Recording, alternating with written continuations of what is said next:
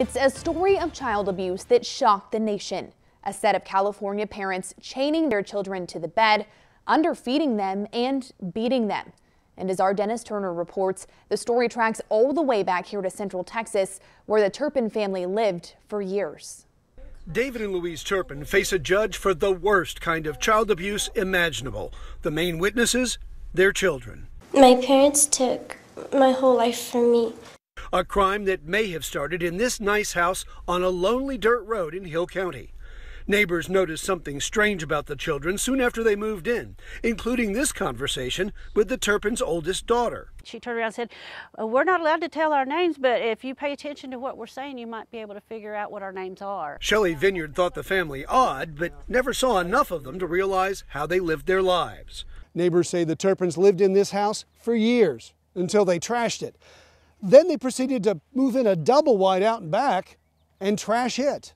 Hill County Sheriff's deputies only answered two calls here over the years. One involved a dog bite, the other a family pig that got away and ate a neighbor's dog food.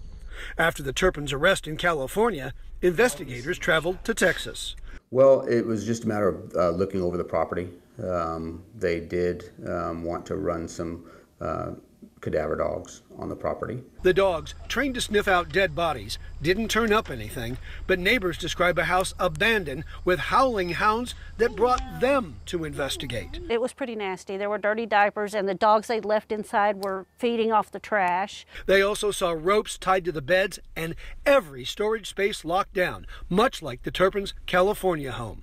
Suddenly, everything about this secretive family made sense. If you were to run into a situation like that today, I wouldn't know what I was looking at now. Yeah. Finally caught, the Turpins offered an apology. I want to say again, I'm truly sorry. I am for everything I've done to hurt them. I love them more than they could ever imagine.